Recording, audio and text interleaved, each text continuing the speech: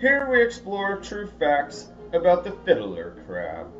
All males of the approximately 100 species of genus Uca have one extra large, how the hell do you say this? Chela? Which is what crab biologists call claws to make them sound less scary. Ah! That is it pretty scary. Actually, he is just hiding behind that claw. Pansy. The reason male fiddler crabs grow big claws or chela or whatever is to get together on the beach and wave them to impress the females. If human males use this same tactic, here's what it would look like. That is awkward as hell, and the female is not impressed. This female is not impressed either. The male's claw is not big enough for her. Not that him chasing the female is any indication of insecurity about his claw size.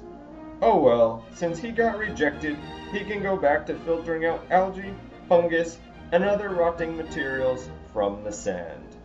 Fiddler crabs spit out filtered sand in little balls next to their hidey holes because that's how the fiddler crab do.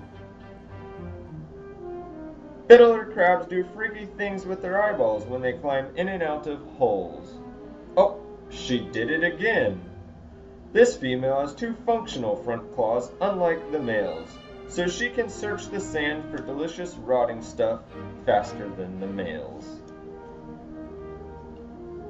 Male fiddler crabs can be right-handed or left-handed. This one is right-handed. This one is also right-handed.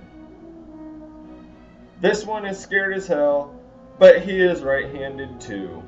Maybe they are all right-handed. This one is definitely right-handed. Pansy,